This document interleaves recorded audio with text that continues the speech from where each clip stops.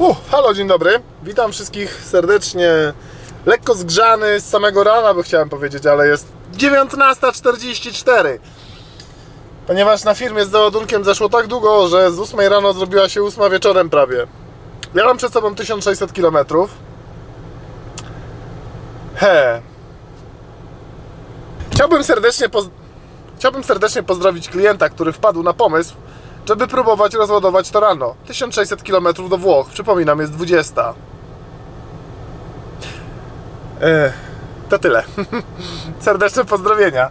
Kolejny odcinek. Przeniosłem się z Lizbony do pod Madryt. Jestem pod Madrytem, właśnie sobie byłem na Repsolu w toalecie, kupić coś zimnego do picia, jakiegoś lodzika i jedziemy dalej. Także Was zapraszam serdecznie na kolejny odcinek, a przede mną 1600 km, więc to będzie zawartością tego odcinka i po drodze może jeszcze o czymś tam Wam pogadam, jak to zawsze mam w zwyczaju. Tymczasem, no, dzień dobry, zapraszam na intro. Pyk!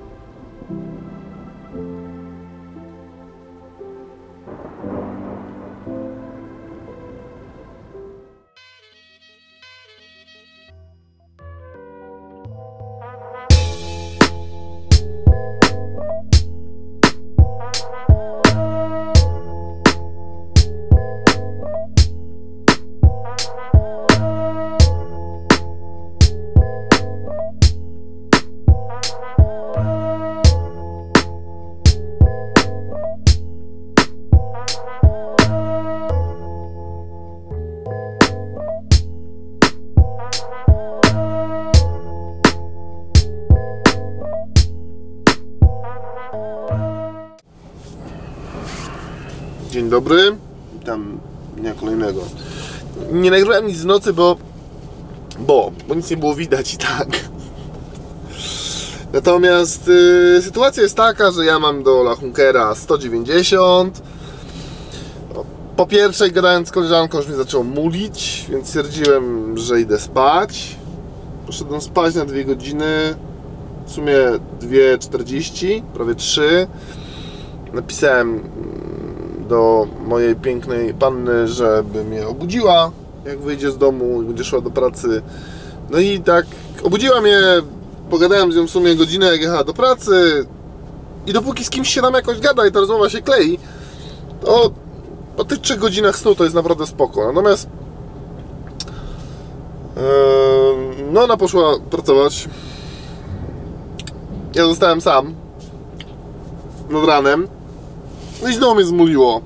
Tak mnie zmuliło, że stwierdziłem, że i tak już dzisiaj tego nie zrzucę. Więc elo banano, kładziemy się spać. Widzimy się za parę godzin. No i jak się tak położyłem, to znowu na 3 godziny, 6 godzin snu, dzwonił do mnie spedytor. Czy jadę, czy nie? To stwierdziłem, że jadę. No i tak, no jadę, no. No, zostało, nie wiem, nie wiem ile zostało ale yy, to jest ważna rzecz, którą chcę powiedzieć zaraz, bo jak tak otworzyłem oczy, to tak właśnie myślałem, żeby o tym powiedzieć. Bebrebe. Tysiąc mi został. Słuchajcie. Ważna rzecz to jest to, że to jest mój apel do wszystkich spedytorów. Moi spedytorzy raczej to rozumieją. Sam ich poniesie, ale to trzeba im przypomnieć i rozumieją.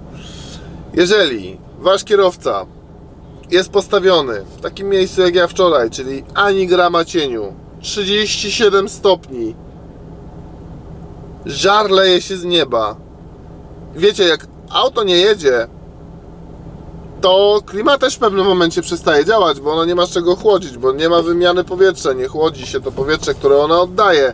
Więc w pewnym momencie i tak do kabiny leci żar zamiast klimy. Nawet na odpalonym silniku, tak jak ja to stałem, no bo temperaturę trzymałem z tyłu. Więc po całym takim dniu, a ja od 8 do 19, no to macie 11 godzin, nic nie robienia, kierowca jest tak wydymany, jakby bez mała jechał te 11 godzin. Nawet nie wiem, czy czasem nie lepiej się czuję, jak jadę 11 godzin, niż jak się tak skwierczę, jak kawałek mięsa na grillu. Więc miejcie to na uwadze, ponieważ dzisiaj może bym walnął całą noc, gdybym cały dzień spędził w normalnych warunkach, a nie w takim skwarze. Tymczasem jedziemy. Dalej. Pyk!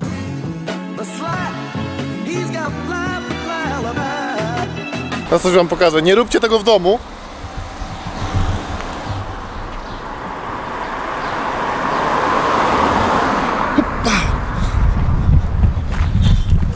Czyli jak dostać się średnio legalnie do bankomatu.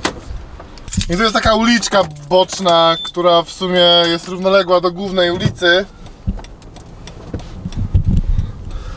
Więc wjechałem, paliłem awaryjki, tak wiemy. Odpaliłem awaryjki, poudawałem, że coś tam nie tak z autem, bo jechała akurat Guardia Civila, coś tam, czyli ich policja. Po czym jak przejechali, to pobiegłem do bankomatu, wypłaciłem kasę i spidalam. Oj, Damian, Damian, Damian, ty kryminalisto. No ale nie polecam generalnie. E, dlaczego wypłaciłem kasę? Dlatego wypłaciłem kasę, ponieważ nie wszędzie akceptują kartę, a gotówka mi się skończyła. Warto mieć jakieś 50 euro przy sobie, wypłaciłem 70. No i ING Bank e, nalicza sobie prowizję teraz za płatność kartą w złotówkach za granicą. Mm, Nie chcę mi się przerzucać kasy, bo mogę to robić, przewalutowywać na konto w euro. Wtedy bym nie miał tej prowizji, no ale Mogę również e, przelać pieniądze na moje konto w PKO SA, które nie dolicza sobie prowizji, drogie ING.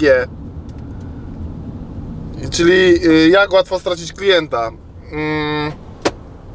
Myślę, że te 7 zł opłaty, które ponoszę miesięcznie za konto, to jest dużo mniej niż ponoszę za te przewalutowania u Was, za płatności kartą za granicą. Ale to jest szczegół. Yy, słuchajcie, 10.44 ja mam jakieś 15 do La Hunkera. Yy, tam się tankuje do pełna, tam sobie wezmę coś do żarcia i pędzimy do Włoch. We Włoszech chciałbym zahaczyć sobie pizzę, yy, bo będę w Wolix przejeżdżał. I włoską pizzę sobie wezmę. No i prysznic. Prysznic się o mnie prosi już strasznie. No ziomek.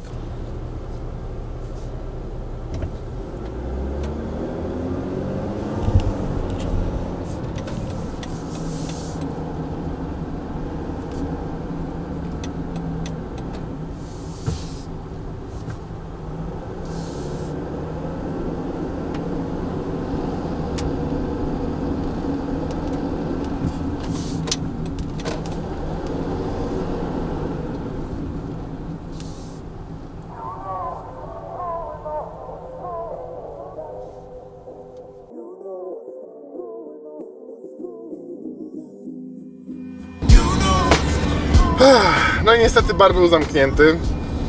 Mech. Zatankowałem 180 parę litrów, bo tyle weszło. Kupiłem sobie jakąś wędlinkę, tak żeby sobie coś przegryźć. No i jadę na tą Francję. Mm. Plan jest taki, żeby ta pizzeria, do której ja chcę jechać, ona ma taką przerwę do 19, chyba od 15 do 19, czy od 17 do 19, jakoś tak. I od 19 potem pracują do 22, z tego co pamiętam. E, no i tak chcę się wstrzelić w to okno pomiędzy 19 a 22, tak żeby sobie po prostu wejść, zamówić pizzę, pójść z nią w cholerę. Bo tutaj ciekawostka, włoskie pizzerie, e, takie tradycyjne włoskie pizze, które robią, no, składni to tu nie było, e, pizzerie, które robią tradycyjne włoskie pizze w Włoszech, te, te takie z pieca na drewnie ogrzewanym, palonym i tak dalej, te pizze mają naprawdę relatywnie tanie, bo za taką pizzę, ja wiem, no za 30 cm trzeba zapłacić z 6 euro, to naprawdę jest mało, jak na tak dobry placek, jak mówią w Polsce. Natomiast y, oni sobie dorabiają na napojach, bo idąc do takiej pizzerii, idąc do takiej pizzerii, E, kupujemy sobie pizzę za 6-7 euro, napój za 2,5-3 euro, taki 0,2 w buteleczce, to sobie policzcie ile to kosztuje. 2,5-3 euro za taki napój. E, I do tego jeszcze doliczają sobie często gęsto 1-2 euro za serwis, czyli za obsługę. Tam generalnie oni już z góry wliczają napiwek w rachunek, tak żeby nikt nie zapomniał go zostawić. Także taka sytuacja, więc na dobrą sprawę płacimy prawie dwa razy tyle za pizzę, jeżeli jemy ją na miejscu, natomiast jak ktoś chce sobie przeoszczędzić, albo nie wiem, jest niewyjściowy, tak jak ja dzisiaj, chociaż ja to jeszcze będę wyjściowy, zanim tam dojdę, dojadę, no po prostu bierze sobie taką pizzę na wynos, idzie sobie do auta i szamie.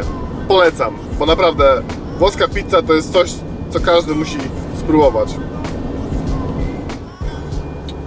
Uwielbiam przejazd, przejazd przez Lepertus.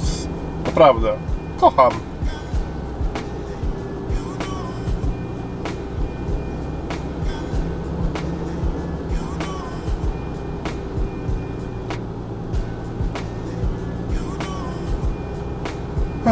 Jeszcze autokar, no po prostu. Tak, wyjdź na ulicę, kobieto. Przejadę ci po stopach. Cieszysz się?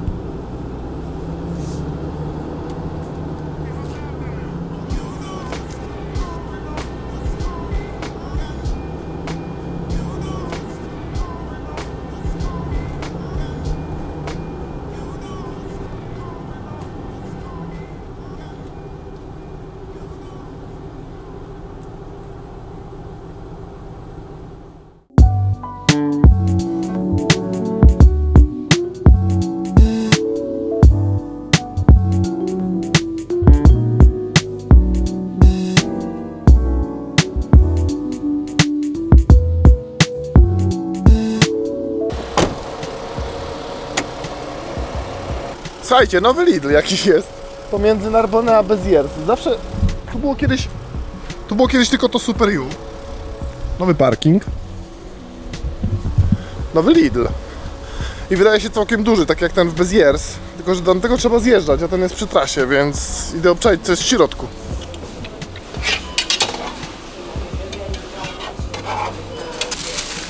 To się nazywa Fuck the Diet. Wow, jakie duże. No bierę. O, sałatki.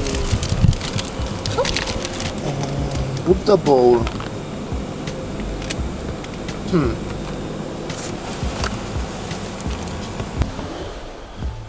No, muszę wam przyznać, że naprawdę zajebisty Lidl. Jak ktoś będzie tędy przejeżdżał, nie trzeba już zjeżdżać, zjeżdżać do Beziers.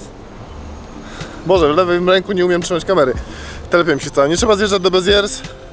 Można sobie zrobić zarąbiste zakupy tutaj. Gorąco.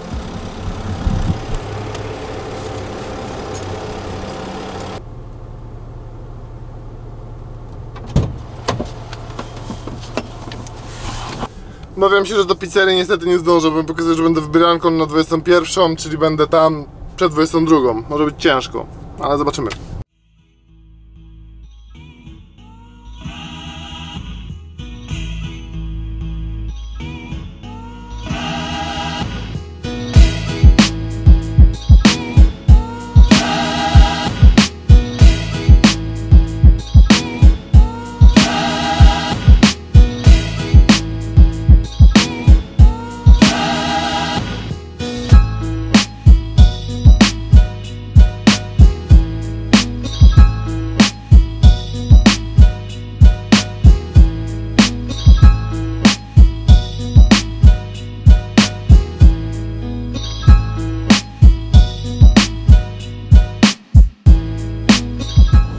No mój mózg zaraz eksploduje, dosłownie. O Jezus, wiem, jadę po brzegu, to też są linie. Jadę sobie, jadę. Ja sobie jadę. I sobie jadę, jadę. I słuchajcie, mijam znak GAP 94. Tak, mówię, kurde, tak szybko zrobiłem 40 km? Wow, no, no spoko, nie? Zarąbiście, Ła, luzik. Po czym jechałem 500 metrów? Znak GAP 117. Francjo, robisz to źle. What the fuck? I nie wiem, czy mam 94 czy 117. W każdym razie E, 200 km do Briançon. Briançon? Brian- Briançon? Chyba tak to się czyta.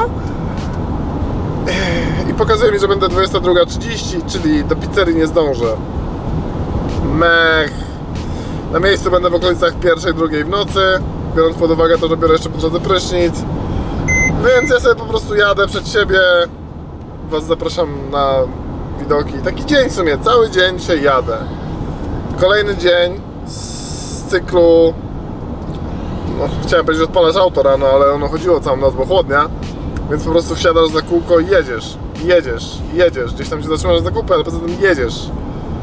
Tak, tak wygląda mój dzień dzisiaj. Ostatnio niestety narzekam też trochę na braki czasu, przez co ubolewam montowanie. Od tygodnia nie miałem laptopa w rękach. Mam nadzieję, że znajdzie się trochę luzu, żebym chociaż zmontował jakieś parę odcinków, bo robią mi się spore, naprawdę spore zaległości. A nie chciałbym spędzić w domu kilku dni przed kąpem na zapałkach.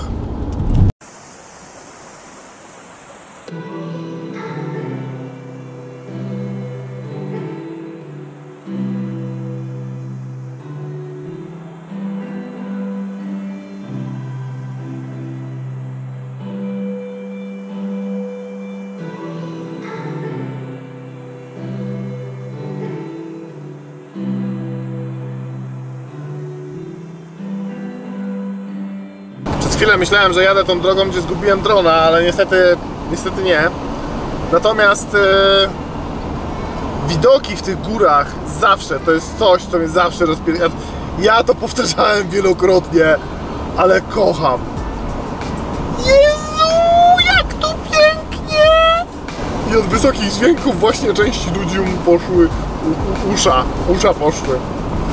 Taka tam firma. Super lokalizacja swoją drogą.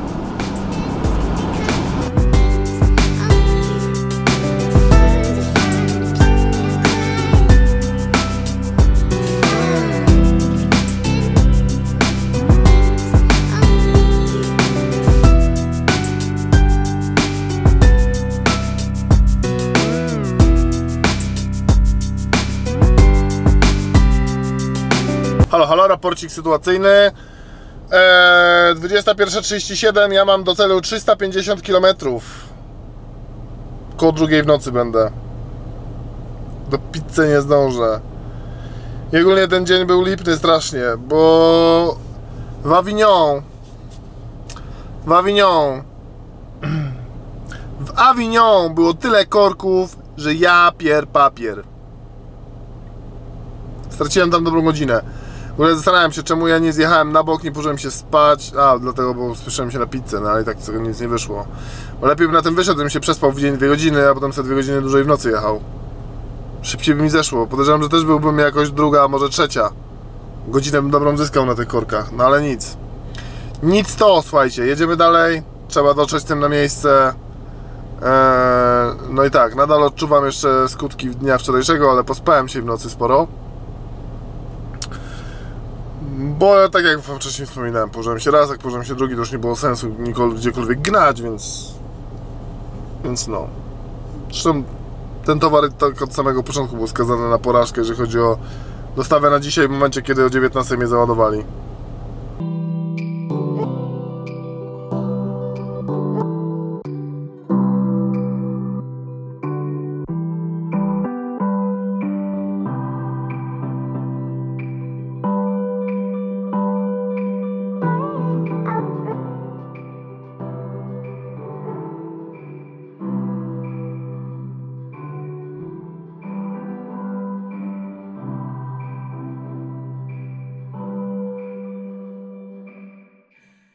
Jadę sobie jadę, sobie jadę, sobie jadę, jadę, jadę, jadę. Części ludzi mu poszły, u, u, usza, usza poszły.